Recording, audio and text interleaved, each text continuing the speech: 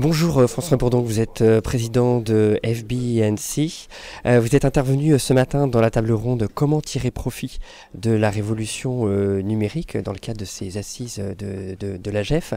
Vous avez parlé beaucoup ce matin en fait d'un nouveau changement, un nouveau, je ne sais pas si on peut parler de paradigme, où l'idée n'est plus de penser produit, mais de penser usage et service. Est-ce que vous pouvez revenir là-dessus?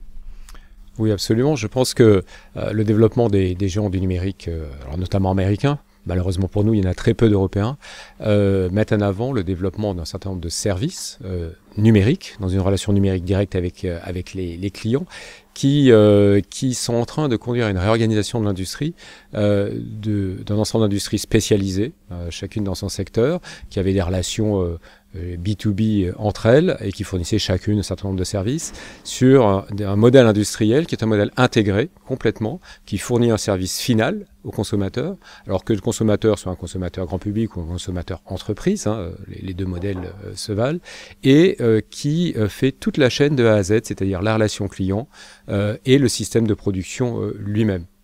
Donc typiquement, euh, c'est ce qu'on appelle des full stack startups. Euh, ce sont des startups au sens où ce sont des entreprises jeunes, financées par euh, des capitaux importants pour financer un modèle d'hypercroissance, et qui veulent absolument la maîtrise totale de leurs produits, aussi bien le produit qu'ils fabriquent que le produit qu'ils vendent et la manière dont ils le vendent. Le bon exemple pour ça, c'est euh, le fait que les entreprises numériques, notamment Elon Musk, qui est le fondateur de PayPal, aujourd'hui va vers l'économie tout ce qui est plus physique. Par exemple, avec Tesla, il fabrique des véhicules électriques qui, pour l'instant, sont un marché de niche pour, euh, on dirait, on dit souvent les PDG américains en, mal d'émotions fortes. Mais euh, il aurait pu aller voir Ford, General Motors, leur demander de faire une voiture et mettre un système électronique à bord pour faire des voitures connectées. Non, il a choisi de fabriquer ses propres voitures. Aujourd'hui, il construit une usine euh, pour lequel l'État du Nevada a subventionné à hauteur d'un milliard de dollars en euh, collaboration avec Panasonic pour faire des batteries électriques pour ses propres voitures. Donc ça, c'est il fabrique l'objet physique lui-même entièrement. On n'est pas dans une logique de sous-traitance, une logique d'intégration verticale.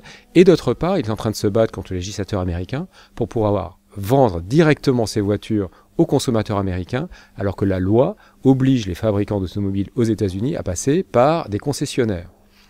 Donc il essaie de bypasser les concessionnaires, euh, avec des bonnes raisons d'ailleurs, en disant les concessionnaires vont nous savonner la planche, vont pas nous aider à euh, vendre nos voitures, parce que c'est en rupture avec leur modèle existant, d'une part, et d'autre part, parce que venant du monde du numérique, il sait très bien que la relation numérique directe avec le client est la clé du succès dans euh, la satisfaction client.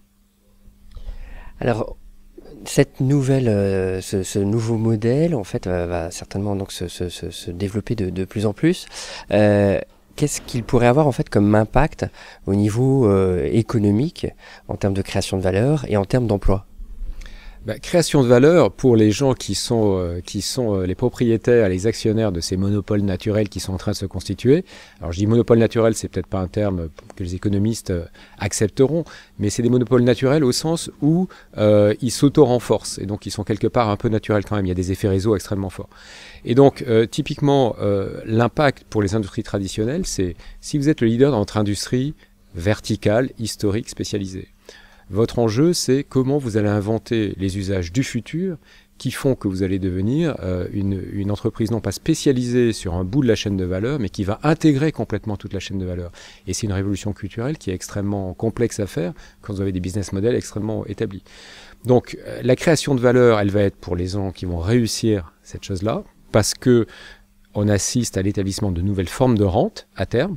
Euh, et donc, soit vous êtes le propriétaire de la rente, et dans ce cas-là, vous avez la rente, soit vous avez des rentes existantes, et dans ce cas-là, elles vont être forcément euh, grignotées par ces nouvelles rentes qui sont en train de s'installer. Donc, cette révolution matricielle de l'économie, d'une économie spécialisée qui travaille en relation B2B les unes entre elles, à une économie euh, complètement intégrée verticalement, est un enjeu extrêmement dur, surtout pour, dans le domaine des utilities, qui ont un ancrage régional et qui doivent basculer dans un état d'esprit de fabriquer des succès d'usage mondiaux.